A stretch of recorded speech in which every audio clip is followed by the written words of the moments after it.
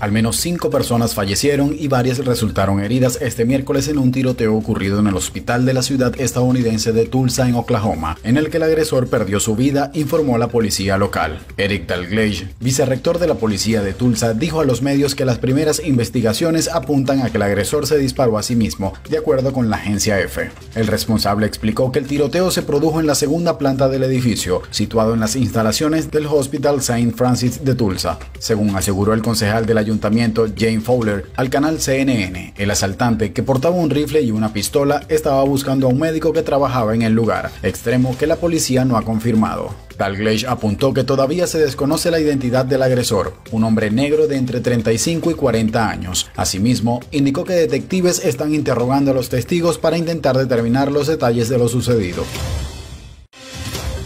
Una de las sobrevivientes a la masacre en Texas de la Robb Elementary School es Kendall Fight Olivares, a quien en un inicio la habían dado por muerta, difundiendo su fotografía dentro del grupo de las víctimas. Sin embargo, no fue así, y desde hace días se encuentra hospitalizada y con pronóstico reservado por las heridas que sufrió. A raíz de eso, la familia de Kendall se encontraba suplicando apoyo económico para los gastos médicos de la pequeña sobreviviente de la masacre de Texas, por lo que rápidamente muchas personas se volcaron en ayuda, pero ahora se incrementan las esperanzas por ella, ya que reapareció.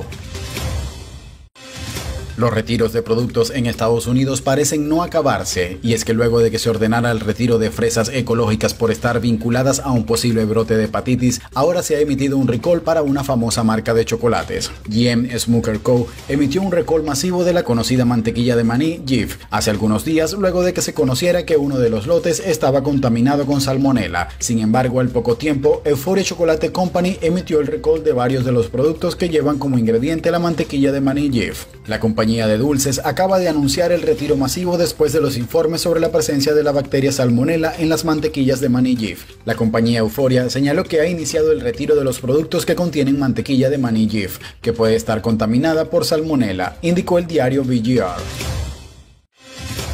Miles de ciudadanos en Estados Unidos ya no tendrán que esperar más, y es que comenzarán a recibir cheques de 850 dólares a partir de junio, y para no perderlos deben tener presentada su declaración de impuestos del 2021. La gobernadora del estado de Maine, Janet Mills, propuso devolver más de la mitad del superávit presupuestario a la gente de Maine, así que los residentes del estado estarán muy pronto recibiendo cheques directos de hasta 850 dólares.